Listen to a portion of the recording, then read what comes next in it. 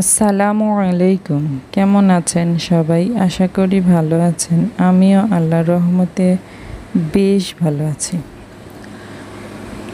যে যেখান থেকেই আমার ভিডিও দেখছেন সবাইকেই অনেক অনেক শুভেচ্ছা।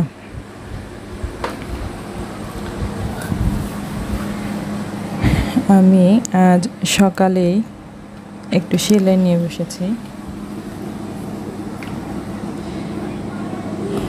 সকালে আসলে আজকে তেমন তারা নেই। এমনিতেও মানে আবিরের বাবা দশটার দিকে ওর অফিস, দশটায় অফিস, দশটার আগ আগ দিয়ে একটু বের হয়। আর অফিসটা কাছেই, দশটায় বের হলেই হয়ে যায়। আর এদিকে আবিরের পরীক্ষা চলছে। ওর পরীক্ষা একটা থেকে, সকালে তারা নেই। আবার এদিকে আনিকা ওর স্কুলে যাবে। স্কুল তো একদম পাশে, বেশি দূরে না। তো ওর যেতে তো বোধ হয় দুই মিনিট সময় লাগে। এরকম আর কি। এছাড়াও ওর স্কুল হচ্ছে পৌনে আটটা থেকে। তো এদিকে আমার ছটা বেজে গেছে।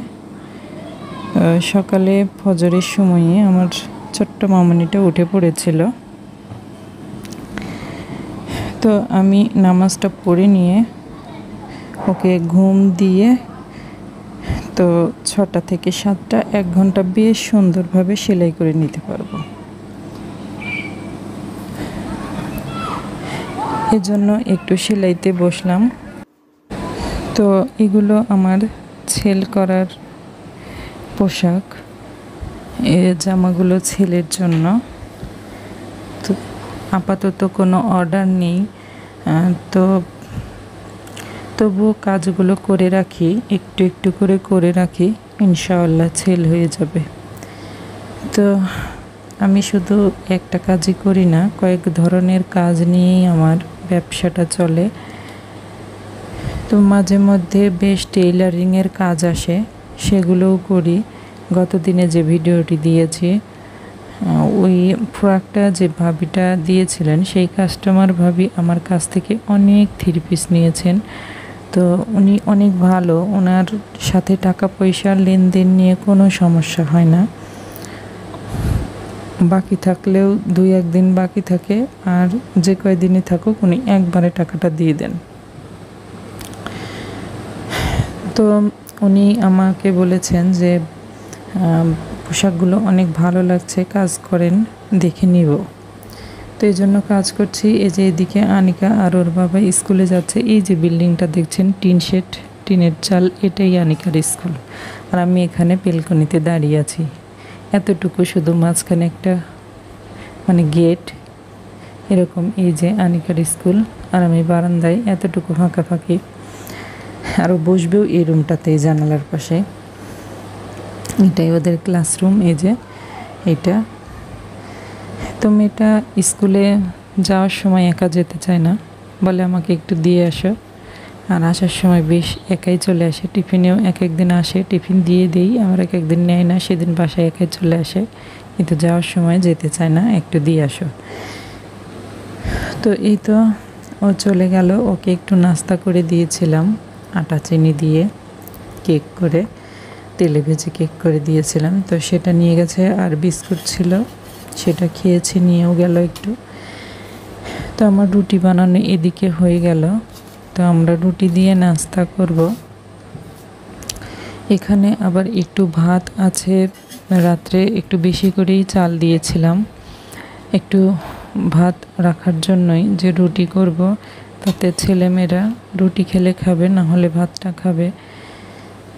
আর রুটি খায় ওদের সমস্যা হয় না রুটি খায় তবু একটু ভাত তেলে দিয়ে দিলাম, খেয়ে নিবে।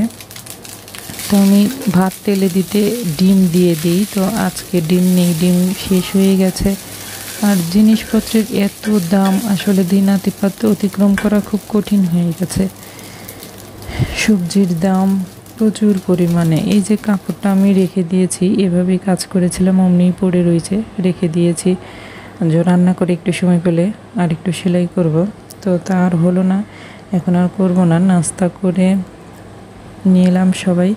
নিয়ে এই যে কাপড়গুলো আছে, এখানে দুইটা টু পিস আছে আর একটা ওয়ান পিস আছে। এগুলোর কাজ করতে হবে আমার। এগুলো ছেল হয়ে যাবে।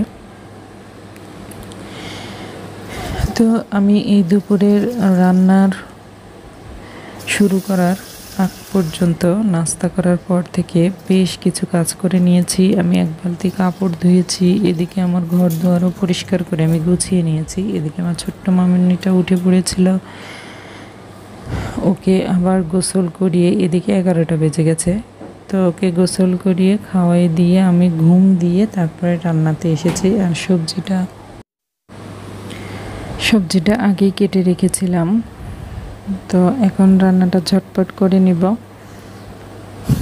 আমি এদিকে রান্না করছি হলো শুটকি মাছ দিয়ে পুঁই শাক। তো পুঁই শাক দিয়ে শুটকি মাছ এত মজা লাগে, আসলে না খেলে বোঝাই যাবে না।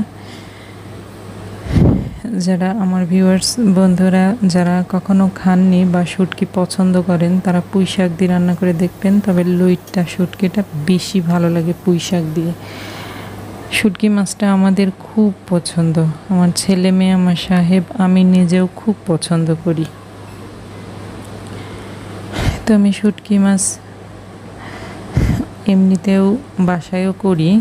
তো এখন ছোট বাচ্চা নিয়ে তো আর করা হয়নি। অনেক দিনই শুটকি করা হয়নি। বাসায়ও করি। বাসায় শুটকি বলতে বোয়াল আর টাকি মাছটা শুটকি করি, এটাই আমার ভালো লাগে। আর অন্য মাছ শুটকি করতে ভালো লাগে না, তবে আমার সাহেব আবার বাম মাছ, গুচে বাম যেটা আছে মানে ছোট ছোটোগুলো, সেগুলো পছন্দ করে। তো সেগুলো করা হয় না। তো টাকি মাছ আর বল মাছটা শুটকি করি। তো সেগুলো নেই। তো বেশ কিছুদিন ধরে এই লইটটা শুটকিটা খাচ্ছি। তো শহরে বেশ পাওয়া যায় আমাদের এখানে। আর পুঁই শাক দিতে আসলে বলাই যায় না। কেমন মজা। এদিকে আমার পুঁই শাক আর লোটটা শুটকিটা রান্না হয়ে গেছে। আর এর সাথে আছে আমার ঢেঁড়স ভাজি। তো ঢেঁড়স আসলে আমার বন্ধুরা কি কেমন খান আমি জানি না কীভাবে ভাজি করে খান। তো আমি যেভাবে ভাজি করি একটু মোটা মোটা করে কেটে নিয়ে, এতে পেঁয়াজ, মরিচ, হলুদ আর লবণ একসাথে দিয়ে আস্তে আস্তে নেড়ে নেড়ে খুব তাড়াতাড়ি হয়ে যায় ভাজিটা, বেশি সময় লাগে না। আমার মনে হয় রান্নার মধ্যে এই ঢেঁড়স ভাজিটাই বেশি তাড়াতাড়ি হয়, শাক ভাজির চেয়েও। তো এই যে আমার ঢেঁড়স ভাজিও হয়ে গেছে, ওদিকে শুটকি মাছটাও হয়ে গেছে। আর আমি রান্নার আগেই আমি ভাত চড়িয়ে দিয়েছিলাম। যখন আফিয়া বাবুকে গোসল করাই, তখনই আমি গরম পানি করে নিয়ে ভাত বসিয়ে দিয়েছিলাম প্রেশারে যে ততক্ষণে ভাত হয়ে যাবে। কারণ ভাত পরে ঝামেলা হয়ে যায়। একটু রান্নায় দেরি হলে তখন দেখা যায় আর উপায় থাকে না। তো এদিকে আমার এই যে দুপুরের গোসল খাওয়া, সরি, গোসল নামাজ হয়ে গেছে, খেতে বসেছি আমরা সবাই। আবিরের বাবা ভাত বেড়ে দিচ্ছে। তো আমার আফিয়া মামনি উঠে পড়েছে, তো আমি ওকে নিয়ে আছি। এদিকে আনিকা আর আনিকার বাবা খেয়ে নিবে। আর আবির তো স্কুলে আছে, এখনই আসেনি। ওর তিনটায় পরীক্ষা শেষ, আসতে আসতে সাড়ে তিনটা ভেজে যাবে। তো বন্ধুরা, আমার আয়োজনে এই ছিল। তো এ পর্যন্তই, আসসালামু আলাইকুম।